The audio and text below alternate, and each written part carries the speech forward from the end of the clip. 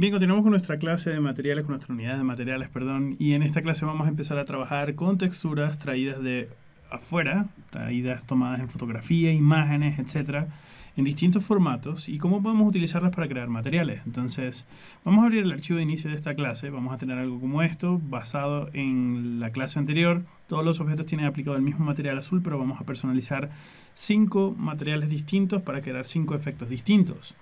Entonces, lo primero que voy a hacer va a ser cambiar el material del suelo. Entonces, voy a crear el material del suelo, que sería este que tengo por acá, y desde la salida de este material se lo voy a asignar a este suelo. Ya por ahí lo tengo asignado.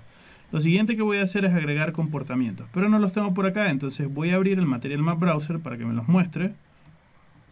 Para poder tener, de hecho voy a estirar esto un poco más para tener un poquitito más de superficie de trabajo.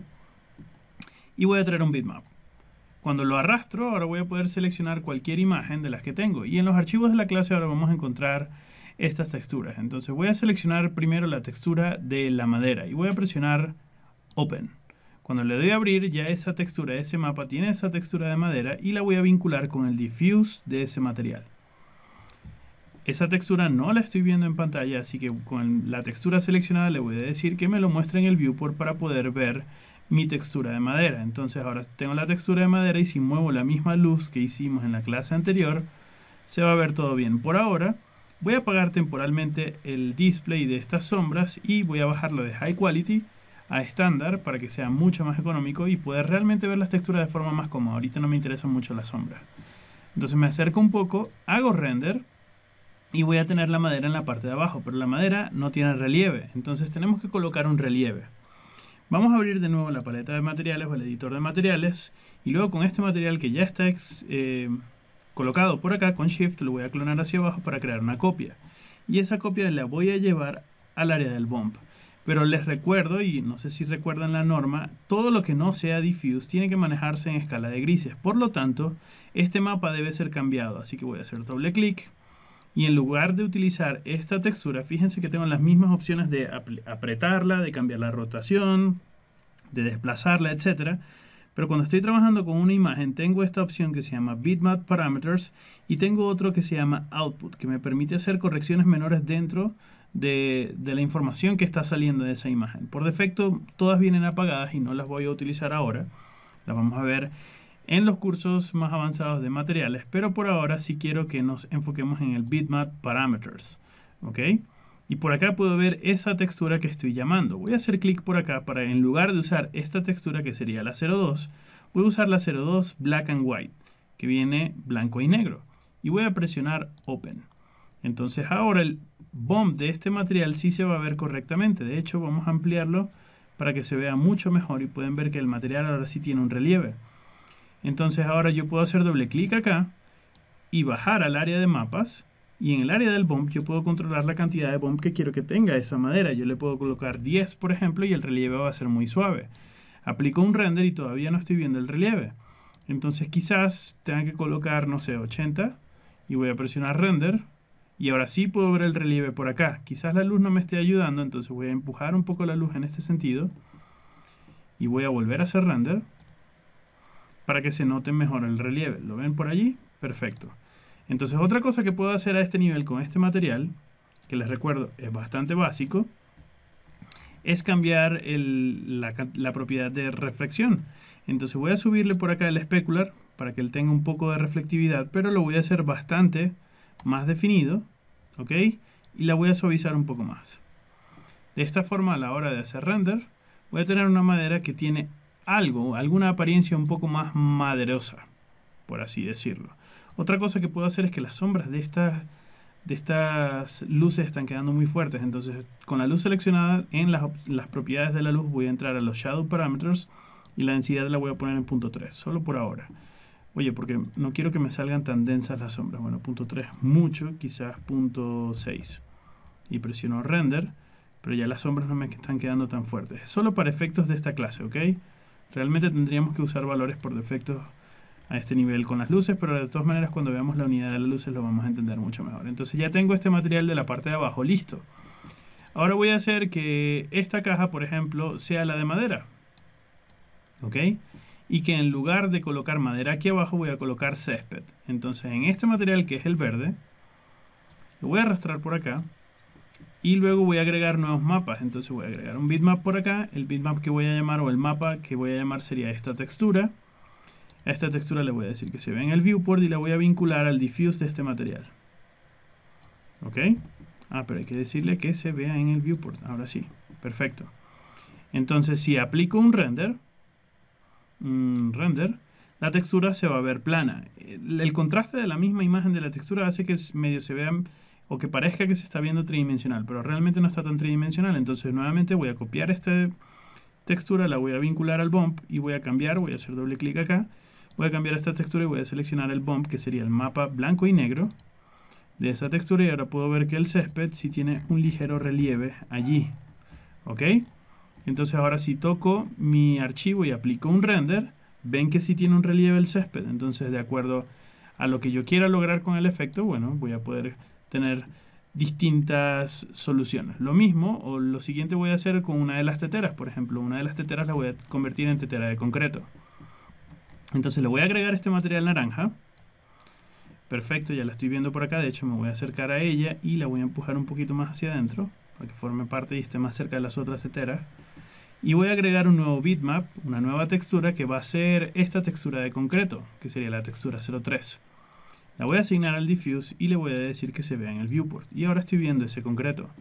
Si hago render, el concreto se va a ver muy plano.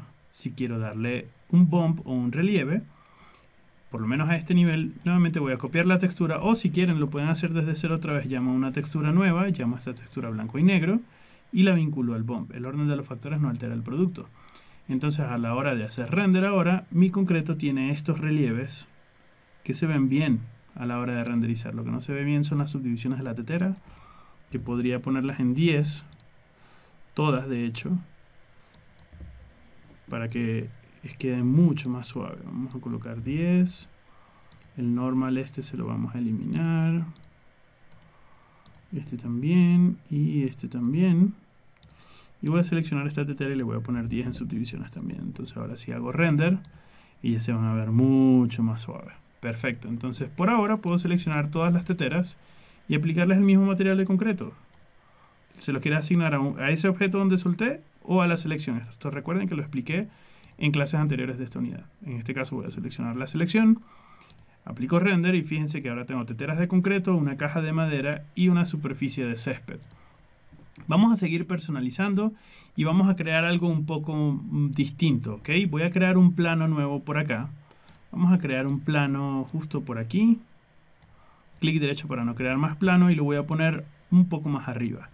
Entonces este plano me va a servir como una reja en caso de que yo quiera crear una reja. Entonces voy a tomar este material rosita o fucsia y lo voy a arrojar a ese objeto, se lo voy a agregar. Y ahora en lugar de utilizar bump, voy a llamar una textura que va a ser este panel de reja, esta textura 08, voy a presionar abrir y esta textura 08 me va a permitir a mí tener una opacidad donde negro va a ser ausencia de masa y blanco va a ser masa. Por lo tanto, yo puedo vincularla al área de la opacidad. Y fíjense que voy a tener como una especie de textura por acá. ¿Ok? Esto es muy, muy interesante. Entonces, ¿cómo puedo confirmar que se está viendo así? Pues haciendo render. Pero antes tengo que decirle a la textura que se me vea en el viewport para saber cuál es la escala. Puedo ver que la reja realmente está gigantesca, entonces voy a hacer doble clic en la textura y voy a apretar la reja y le voy a poner 5 por 5. Ok, y vamos a ver cómo se ve ahora. Vamos a presionar render y puedo ver la reja. De hecho, la luz está pasando a través de la reja y me está creando esa proyección. Pero la reja está quedando de este color rosado. ¿Y por qué? Porque el material si hago doble clic, en su color él es rosado. Solo este comportamiento está afectando la opacidad nada más, es decir, masa o no masa, pero no está afectando el diffuse. Por lo tanto, yo tendría que seleccionar este color y quizás colocarlo en un color gris, por ejemplo, y seguramente aumentar el especular y quizás pulir el glossiness de esta forma y suavizarlo mucho menos para que a la hora de hacer render yo tenga algo más parecido a una reja. ¿Pueden ver que se ve como una reja? Perfecto. Entonces fíjense ahora, lo voy a combinar, a, combinar con algunas herramientas que hemos visto en la clase anterior. Por ejemplo, yo lo voy a convertir esto en editor poly. Voy a seleccionar esta arista que tengo por acá y si yo la muevo empiezo a deformar esa textura. ¿Lo ven? De hecho voy a deshacer, porque no lo voy a convertir en poly todavía. Voy a quitarle estas subdivisiones y ahora sí lo voy a convertir en editor poly. Entonces voy a seleccionar este único segmento, este única arista que tengo por acá. Presiono F4 para ver la malla de todos los objetos. Y si yo muevo esto, se está deformando la textura. Si presiono Shift, se crea una deformación de la textura. Entonces, todas estas modificaciones las voy a hacer con el Preserve UV encendido. Entonces, voy a colocar una reja o este segmento por acá. Y este segmento lo voy a mover por acá. Y luego con Shift voy a ir creando objetos. Fíjense que a pesar de que coloco el Preserve UV, voy a tener una deformación, pero ya les voy a decir cómo lo podemos solucionar. Entonces, básicamente lo que quiero crear es como una reja que me cubra toda la escena temporalmente. ¿Ok? Entonces mi textura está mala, a pesar de que tenía activado el Preserve UV a la hora de deformar. ¿Cómo lo podemos homogenizar? ¿Cómo lo podemos corregir? Vamos a utilizar un modificador dentro de la lista del panel de modificación. Vamos a buscar un modificador que se llama UVWMap. ¿Ok? Y fíjense que él temporalmente me está organizando o me está homogenizando todas las texturas. Y por defecto él viene en modo planar. Esto lo vamos a ver más en detalle justo en la clase que viene, pero por ahora lo voy a dejar en modo planar y básicamente lo que quiero es estirarlo un poco más en este sentido para que la reja se vea mejor o hacerlo más angosto en ese sentido y más angosto en ese sentido para tener más cantidad de reja. Por acá tengo una deformación que voy a tener que corregir, pero por ahora a este nivel quiero que se mantenga así. Entonces si me acerco por acá y presiono un render, puedo ver que ahora la reja está cubriendo todo este espacio, estoy viendo incluso las caras negativas de la reja y estoy viendo las sombras que me está produciendo la reja en las cajas. Voy a abrir la paleta o el editor de materiales de nuevo, voy a tomar el mapa de la reja y lo voy a apretar mucho menos, le voy a colocar 3x3 porque quiero que se vea más grueso el metal. Presiono render y pueden ver que ahora se ve o se nota mucho más la reja que hemos creado. Para que se note aún más, yo voy a tomar la luz y la voy a poner desde mucho más arriba para que me pueda iluminar mejor toda la escena. Entonces a la hora de hacer render, ahora sí la reja se va a ver completo y voy a ver las sombras afectándome toda esta área. Si quiero ver las sombras bien, entonces la densidad la voy a colocar en uno de esas sombras para hacer render de nuevo y entonces notar o ver que estoy, estoy notando mucho más las sombras del objeto. Luego puedo tomar este editable poly, por ejemplo, regresar a la edición de puntos y tomar todos estos vértices y estirarlos para acá y tomar todos estos vértices y estirarlos para acá. Y ahora voy a poder tener una reja que me está cubriendo todo el espacio. Se ve sólida, pero si hago render es completamente translúcida y puedo ver a través de ella. Vamos a hacer render en esta posición, presiono render y fíjense que estoy logrando el efecto. Si lo veo de esta manera, está pasando exactamente lo mismo. La luz está pasando otra vez y estoy logrando proyectar sombras. Entonces con eso ya yo he podido modificar la opacidad. Pero ¿qué pasa si quiero modificar ahora el bump?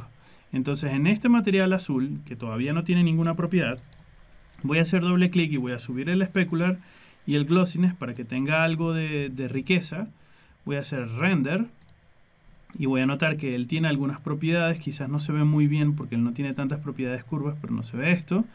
Y voy a llamar una textura nueva y voy a llamar esta textura de, de este patrón metálico. La voy a abrir y ese patrón metálico lo voy a colocar en el área del bump. Y pueden ver que el material cambia y ahora tiene ese patrón. Entonces si yo me acerco un poco y renderizo, ahora mi caja va a tener ese patrón metálico porque tengo un ligero relieve. Pero si quiero que el relieve se vea aún mucho más, entonces el bump lo puedo colocar en un valor de 120, por ejemplo. Ya estoy exagerando bastante, pero solo para que se note más en el render y pueden ver que ahora tengo otro tipo de relieve en mi escena. Bien, hemos podido hacer todo esto, entonces ya tengo este mapa listo por acá y voy a desconectarlo temporalmente para enseñarles cómo podemos tener otro nivel de bump. Hay un mapa que tengo por acá que no he utilizado que se llama el Normal Bump. Lo voy a arrastrar por acá y fíjense que él tiene como un tono, eh, no sé, celeste, fucsia, morado, tintado suave, algo así. Y él por acá, si hago doble clic, tiene varias propiedades. Yo puedo colocar en el área del normal unos mapas especiales, que son los mapas normales. Esos mapas normales lo voy a aplicar a esta textura de césped. Entonces fíjense lo que voy a hacer. Voy a tomar esta malla y temporalmente la voy a mover hacia afuera para que no me distraiga. Voy a abrir la paleta o el editor de materiales de nuevo. Voy a tomar esto que tiene acá en el diffuse y lo voy a desconectar de acá y esto que tiene en el bump y lo voy a desconectar. Y este nuevo mapa que me he creado por acá que se llama normal, me lo voy a traer para allá abajo. ¿Ok? Porque este es el suelo. Y se lo voy a asignar al bump. Y ahorita no voy a ver ningún, ningún cambio. Pero en el área del normal, si hago doble clic, él tiene un normal por acá. Yo voy a hacer clic acá y voy a llamar una imagen. O puedo crear una imagen con un mapa de imagen y voy a llamar estas imágenes. Estas imágenes son especiales. Fíjense que no trabajan con los colores normales del diffuse, tampoco se mueven en escala de grises. Estas tienen otro tipo de tono. Estos son bumps. Esta es la excepción a la regla de que todo lo que no sea diffuse lleva color o no lleva color, solamente se mueve en escala de grises. Bueno, esta es la excepción. Solamente los normal maps o los mapas normales van a tener este efecto. Entonces voy a seleccionar este de panel, voy a abrir OK. Y ahora esta textura de panel la voy a vincular al normal de ese mapa, que está afectando también a este mapa. Y pueden ver que ahora tengo como un ligero relieve. Pero ese ligero relieve no lo puedo ver por acá. Entonces voy a tomar este mapa y le voy a decir que me lo muestre en el viewport. Y ahora tengo una idea de cuál es la escala. Voy a hacer doble clic por acá y voy a apretar un poco la escala y le voy a poner 3x3 para poder ver más. ¿Ok? Y si presiono render, voy a tener como un ligero relieve, pero el relieve realmente no está existiendo. El relieve está directamente vinculado a la posición de la luz. Es decir, los normal o los mapas normales son como un falso relieve se utilizan muchísimo en el diseño de videojuegos. De hecho, lo vamos a ver más adelante cuando estemos viendo el ejemplo del hacha de videojuego. Entonces, si yo bajo esta luz, por ejemplo, por acá, y hago clic en render, la aparición de estas sombras se va a determinar únicamente por el mapa normal. ¿Ok? Entonces ahora voy a romper el enlace por acá porque no lo necesito, lo voy a suprimir. Y voy a volver a vincular el mapa como estaba. El bomb por aquí, a ver, el bump y el diffuse para que el césped vuelva a ser césped y a la hora de renderizar yo vuelvo a tener mi plano de césped. Entonces voy a tomar la luz, la voy a volver otra vez a poner por arriba y mi plano lo voy a volver a enjaular por acá. Entonces hemos aprendido cómo hacer todo esto. Y yo puedo cambiar o combinar cosas. Por ejemplo, en este mapa azul yo había conectado un bump de una reja, pero yo puedo cambiar este y utilizar otro bomb de esta fábrica, de esta textura, esta textura de fabric, de textil. La coloco acá en el bomb y pueden ver que esto, esta esfera, si hago doble clic, ya parece más como una tela. En este caso no se ve muy bien porque la textura es algo grande. De hecho, vamos a ver nuestra caja, a ver qué tan grande es la textura y decirle que nos las muestre en el viewport. Y efectivamente la textura es muy muy grande. Quizás con un valor de 5 por 5 parezca más perfecto como una tela. ¿Ok? o como una caja de mimbre o algo así para que parezca más mimbre entonces voy a seleccionar el material y en lugar de que sea azul lo voy a colocar de un material mimbroso ok algo así y se va a ver como un mimbre pero el bump está muy suave entonces quizás el bump en un factor de 200 lo pueda notar mucho más y a la hora de hacer render yo puedo colocar una o fingir que estoy creando un material de mimbre de estas de, sillas que se utilizan para exteriores, jardines, etc. Entonces lo que hemos repasado por acá o lo que hemos visto en esta clase a nivel muy superficial, primero fueron algunas propiedades de las luces que me estoy adelantando, como cambiar el tipo de sombra y la densidad de la luz, eso no lo voy a contar. Hemos visto cómo yo puedo deformar un objeto, pero a veces el Preserve UV realmente no siempre se comporta muy bien y tenemos que utilizar este modificador. Este modificador lo vamos a ver en la clase que viene y lo otro que hemos aprendido es que no solamente podemos utilizar mapas de procedimientos, sino que también podemos utilizar texturas para crear materiales mucho más complejos como estos que estamos viendo ahorita en pantalla. Tenemos concreto, madera, césped y un mimbre por allá. Todo basado en texturas.